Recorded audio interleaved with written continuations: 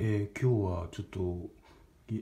小倉の方に出かけてきましてあの駅の方で古本市をやってましたやってましたのでちょっと珍しいカタログ等がありましたのであのこれを紹介したいと思います。これは初代のダイハツのハイゼットのライト版仕様です。まあこれは1枚もののカタログにはなりますけど非常に珍しいカタログです。でまあ諸言表がちょっと書いてますけどこれはあのもちろん初期のモデルですのでク2サイクルの空冷エンジンですね。仕様になります。でまだこれは昭和36年の7月発行のモデルですね。でまだ北九州市ではなく小倉市になってますね。まあこれも非常に珍しいカタログです。それともう一枚が、あの、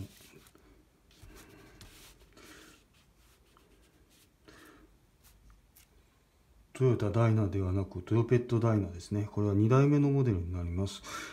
あのもちろんディーゼルエンジンではなくガソリンエンジン仕様になります。で、これはもう中開き仕様になってまして開くとこんな感じになります。ちょっと見にくいかもしれませんけど。まあまだ当然写真ではなくイラストですね。このイラストっていうのがまたあの時代を反映させるような感じです。もともとは初代のカタログも売ってはいたんですけど値段がちょっと高かったのでこちらのこのカタログに対を2代目のカタログを買いました。これはもまあ販売会社を見てお分かりかと思いますが福岡トヨタディーゼルという文字が見えると思います。これはもうえー、で北九州市になってますのでこれはもう昭和30 7年以降のモデルですね。まあまだそういった感じですね。それと一番さらに珍しいのがこちらのあのスタンバックレ不凍液って言いましてロングライフクーラントのあのパンフレットになります。まあこのマークを見ても分かり通りあの今のモービル石油ですね。エクソンモービルの会社になります。こういったあのパンフレットっていうのも非常にレアレアだと思います。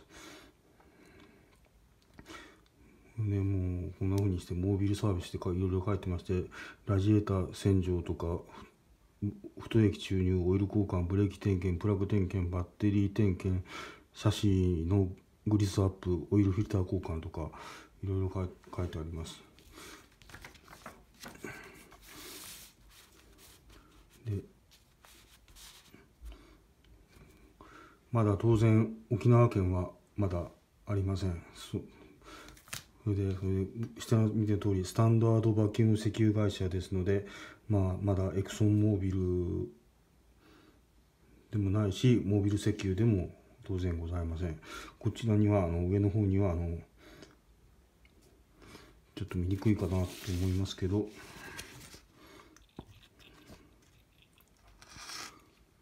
配合費が記載されております。まあそんなとこですね。結構